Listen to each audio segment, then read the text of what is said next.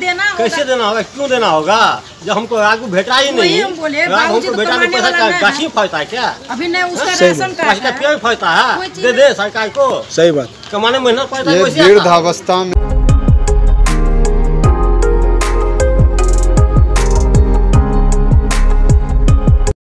Holding रसीद में जो ये जो जल कर का जो टैक्स लग रहा है, इसके लिए बहुत सारे वार्ड के जितने भी जनता लोग हैं, सभी परेशान हैं और सभी मुझे शिकायत भी कर रहे हैं।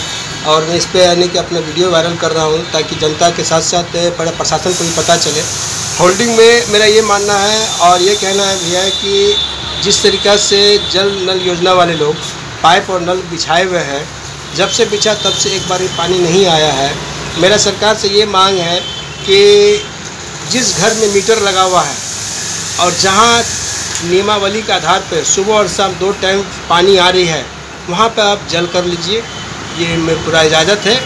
आप जो जल कर का जो नियम के आधार पर आप जल कर का टैक्स लीजिए। हम कहीं इसका विरोध नहीं कर रहे हैं, जल कर के सपोर्ट में है। लेकिन जहाँ मीटर नहीं लगा हुआ है, जहाँ पर आपको पानी सुबह शाम आ ही नहीं रहा है, जब से पाइप लगा अभी तक पानी आ ही नहीं रहा है, उस घर में भी अगर जल कर लग रहा है तो ये सही है कि गलत इसके बारे में बताइए देखिए एक चीज़ क्या है कि सरकार मान लीजिए विभिन्न प्रकार का टैक्स वसूलती है राजस्व वसूलती है है ना? सरकार को उसके कार्य को क्रियान्वित करने के लिए। तो सरकार का भी ये दायित्व बनता है कि जो भी कर वसूलती है कम से कम जनता के बीच वो सुविधा मुहैया कराया जाए वो सुविधा जनता को प्रदान किया जाए। अगर कोई भी सरकार अगर वो सुविधा नहीं दे रही है तो उसका भी ये दायित्व नहीं बनता है कि उस उस अगर सुविधा नहीं है तो फिर वो चीज़ का कर किस चीज़ का लेंगे? कर किस चीज़ तो अगर आप कोई चीज़ का कर लेते हैं तो वो तो फिर जनता को सुविधा देना बहुत ज़रूरी है। बहुत ज़रूरी है। अगर आप जहाँ नहीं दे रहे हैं तो उसको अगर जोड़ के ले रहे हैं तो वो तो गलत है। आप वो सुविधा दीजिए फिर लीजिए ना। बहुत ऐसा बात है जिस तरीके से बहुत ऐसा है नहीं कि जो टैक्स मैंने देख रहा हूँ नगर परिषद में जो आपको बिहार सरकार के ज़मीन में बसे हुए हैं, उसको भी जल कर लिया जा रहा है और निहायत जिसका फूस का घर है, उसका भी टैक्स इतना अनाप शनाप बढ़ करके उसका लिया जा रहा है।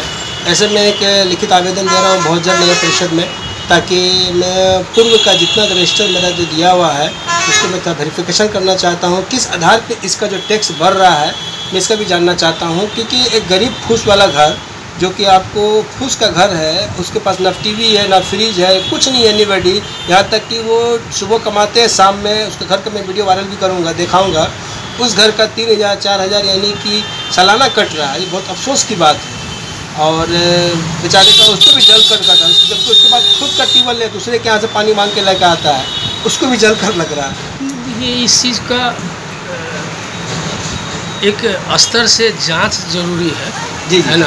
बहुत और सही जाँच ज़रूरी है क्या सही क्या गलत क्या कहाँ क्या हो रहा है क्या नहीं हो रहा है उस चीज़ को समझने और बुझने की ज़रूरत है। और रहा सवाल गवर्नमेंट की तो गवर्नमेंट का अपना क्या शेड्यूल है टैक्स के बारे में क्या कैसे वो आंक रही है कैसे जोड़ रही है उसको भी है ना आम जनता के बीच लाने का ज़रूरत है। और जो भी प्रतिनिधि है हमारे तो कम से कम वो उसका भी दायित्व बनता है कि वो इस चीज़ को सही और गलत देख के है ना क्या सही होना चाहिए क्या गलत होना चाहिए क्या अनुचित क्या उचित कहाँ अनुचित लिया जा रहा है कहाँ उचित लिया जा रहा है तो उस चीज़ को एक बार देखने की आवश्यकता जी जी जी देखिए मैं आपके वार्ड का प्रतिनिधि हूँ मैं उस नियत से मैं अपनी जनता से भी शेयर कर रहा हूँ बहुत सारा जानकारी ले रहा हूँ इस बारे में और मैं बहुत जल्द नगर परिषद से एक लिखित आवेदन दे के मैं उनसे डिटेल्स लेना चाह रहा हूँ।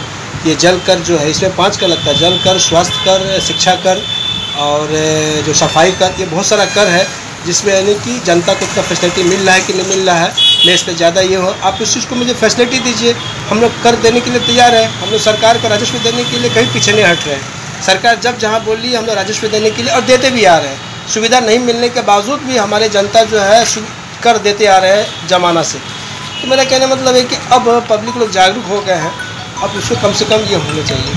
हम जो अभी आपको जो बोल रहे थे जल कर के लिए अभी हम लोग बोले थे कि जल कर जो लग रहा है अभी हमारे वार्ड के देखिए ये रामचंद्र चचा है इनका जो वार्ड का जो देने के जल कर के लिए लोग गई भी थे होल्डिंग के लिए। अब होल्डिंग में क्या बोला कितना लगेगा? चार हज़ार रुपया बता रहा हूँ। देखिए ये देखिए आप देख सकते हैं इसका घर टाली का घर है और ये बिहार सरकार की ज़मीन में ये घर है। अब आप देख सकते हैं कि इस आदमी का चार हज़ार रुपया होल्डिंग टैक्स लग रहा है। वो एक आदमी का। वो भी एक एक आदमी का लग रहा है होल्डिंग चार टैक्स। रसीद कटता है चार दुना सोलह सोलह हज़ार रुपया जमा बताइए चार आदमी का सीधा तो सोलह हज़ार रुपया। बात तो बताइए भैया ये टीना का है घर आप देख सकते हैं और ये आपको नया टोला मेरे वार्ड का है। अब एक आदमी का क्या बताया? चार हज़ार रुपया। हाँ, एक आदमी का चार हज़ार रुपया तो अब बताइए चाचा ये बताइए कि इस तरीके से आदमी अगर चार चार हज़ार रुपया देगा तो कहाँ से जमा कर पाएगा?